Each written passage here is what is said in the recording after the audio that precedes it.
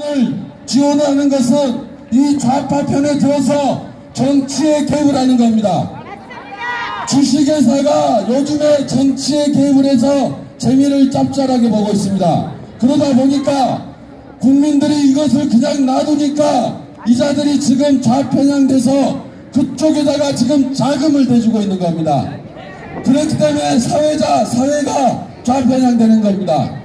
때문에 이 우리은행, 우리은행 같은 좌편향 단체에 자금을 지원해준 놈들은 망하게 해야 됩니까? 안 해야 됩니까? 또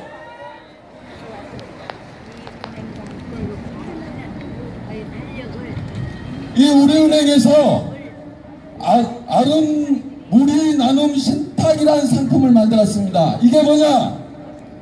박원순의 아름다운 재단과 MOU를 체결하고 거기에다가 자금이 들어갈 수 있는 통로를 만들어준 겁니다. 이게 용납이 되십니까? 아름다운 재단이 어떤 단체입니까? 박원순이가 만들었지만은 모든 좌파 단체에 자금줄 노릇을 하고 있습니다. 세월호 폭동, 광우병, 제주 해군기지 반대, 모든 반정부 좌파 활동에 자금을 지원해드는 마청 역할을 하고 있는 것이 이 아름다운 재단입니다. 여기에다가 자금이 흘러갈 수 있게끔 이 우리은행이 MOU를 체결해서 그 신탁 상품을 판매하고 있습니다. 국민들한테 수수료 장사 잊혀먹고 은행 이자 장사 잊혀먹고 CMS 계좌 이체하면서 앉아서 돈 벌어 먹었던 자들이 좌파에다가는 돈을 지원해주고 있습니다. 이런 결과물들이 지금까지 쌓이고 쌓여서 이 카렌다가 나온 것입니까? 정말 맞습니까?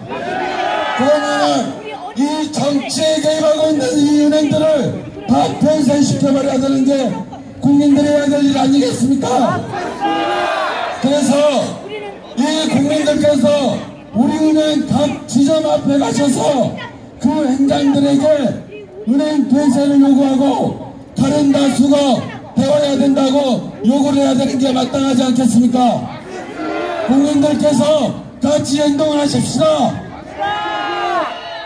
자, 카렌다 하나 얻어왔는데 그것을 여기다 불태워버리려는데 동의하십니까? 자, 카렌다 갖고 와라. 정지만이 카렌다 갖다 줬어. 카렌다.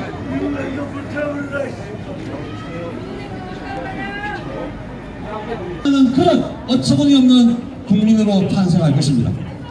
이 달력을 모두 불태우는 그런 심정으로 이 퍼포먼스를 준비했습니다. 여러분 함성!